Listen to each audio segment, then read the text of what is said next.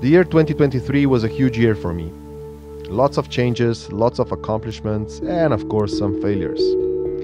I'm proud on all the exhibitions I had. In the first five months, I had six exhibitions in three countries, five were solo shows, and my work was also presented and also sold at a London Photo Fair and also at a Budapest Art Fair. The, the exhibition in Monsaraz, Portugal, was in former church, and it was one of my, the highlights of my career. My workshops were visited by participants from all over the world, like from some Sao Paulo, Los Angeles, Johannesburg, Taiwan, and also and, and also from other corners of Europe.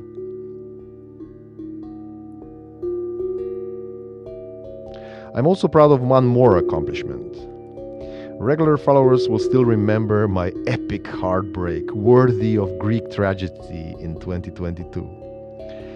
It took a while, but I've recovered and I'm in a relationship again. Honestly, I tried to remain single, but I've grown up in monogamous relationship from age 20 to 41 and I confess I feel the deep need to be anchored with one woman. Well, she's a wonderful woman and her name is Spela Gornik. And by the way, Spela's nickname is Wife. For the past year, I have some regrets. I've neglected few things and one of them is this cabin. I haven't done almost any repairs. Time to work on that well. I will talk only about myself, but this well is a symbol of my ability to love. My past relationships are like cracks in the wall of the old well. It does not hold water, it leaks. These cracks are a symbol of broken relationship, disappointments, lies, cheating, and other painful experiences. A broken relationship hurts. Love hurts. If we want to heal, we, we cannot run away. We need to return to the essence of our being. We have to drill on it, and the truth is that it hurts even more at that moment.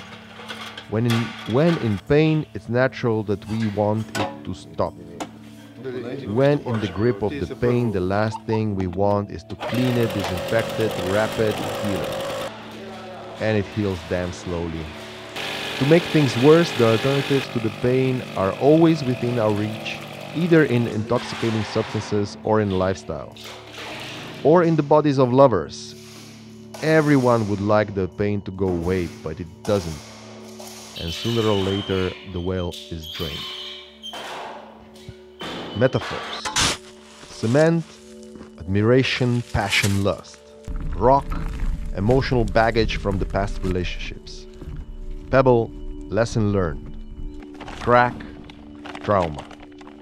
Water, love. Well, well being.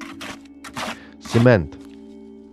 I see cement putty as a perfect metaphor of passion, admiration, and sexual attraction when falling in love. Instructions are saying cement putty is a strong alkaline binder that causes skin burns if not used properly. Cement putty might fill up small gaps, but for big and deep cracks, that alone is not enough. Rock. Rock is a metaphor for the pain from past relationships. We carry this as our emotional baggage, and it is a burden to our current relationship. Pebbles. Pebbles are chipped from a large rock, and they represent lessons learned from our past relationships. Crack in the well is causing leaking of water, just like our past trauma is leaking love from our being. We cannot fill the crack in the heart with sexual fantasies, series of roma- romantic relationships, adrenaline sports, workaholic lifestyle, or other coping mechanisms. A crack needs a firm sealing, not a temporary filling in a form of distractions. Water, well, water is love, and well, well is well being. The connection between our heart and essence is like a well. It serves us faithfully until cracks appear and the water drains away. As long the crack is small and there is a lot of rain, the well holds. But in my case, my well was so cracked that even a monsoon would not fill it. In 2024, I will restore the well and drink water again. With Spela, my wife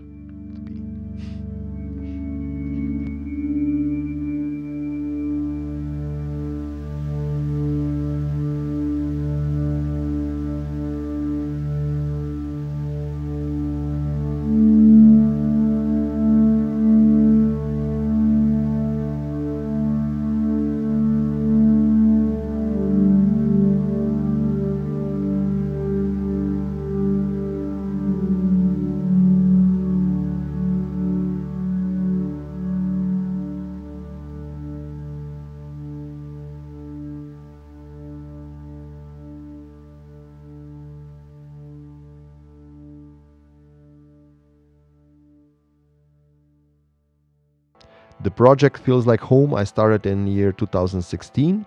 That was the year where when my relationship, one 21 years long relationship, uh, broke up. Uh, and we sold the house that we built and you know i moved out and wherever i went to, to whatever space i found myself in I had this ritual of domesticating the space with photography and flower bouquet. That's why the project feels like home.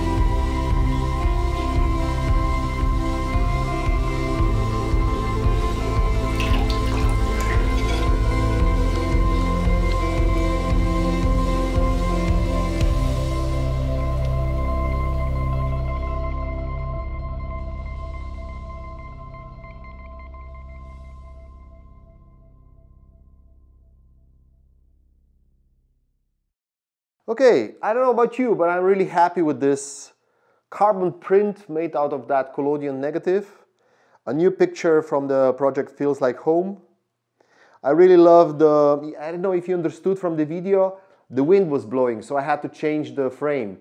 Lucky, lucky, lucky enough, serendipity, because, you know, I had to put, I had to involve this leathers as a main element of my picture and lean this flower against the leather so the, the wind was not blowing so much. I mean, the flowers was not moving so much. And by that, you know, I achieved this vertical. You know, the point of this, and, and the shaft is open, you know, the shaft is open, the void is there. And, you know, that's the point of the whole video. You know, if you want to deal with your pain, if you want to heal it, you have to dig deeper you have to open the cracks you have to you know work on it. And uh, this is and you know on the top of that the light catched in this in this uh, the top of the video i mean the top of the letters and they kind of glow glow. You know they're kind of glowing and shining you know yeah transcending transcendence. And in the background you see this this house. In the background is uh, hunter's house and I love it because we are talking feels like home. We are talking about, for me, woman, like my wife is a cornerstone, uh, is an anchor of, of home. And that's how I see it. And um, this is what is uh, important. This is, this is a reminiscence. This is kind of like in the background, it feels there. And also this comet here, I didn't like it on the negative, but now I do, you know, because, yeah, we are talking about transcendence. I hope you enjoyed this show. Uh, this was possible due to my patrons who are supporting me. If you like it, please subscribe and you know you might buy, um, maybe you want to buy a book of mine. Oops. maybe you want to buy a book uh, from me and support this channel by, by purchase or the sprint. The sprint is also available. Oh, talking about my patrons. Talking about my patrons, uh, David uh, was, a was a patron who was with me for eight years or even more. Um, well, he sent me a message that he, he has to cancel the, the support, which is no problem. I totally understand. I will send you this carbon print uh, paper version.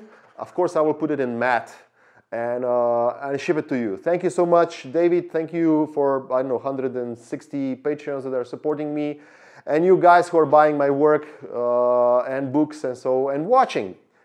Please share it if you think it's good. Thank you so much.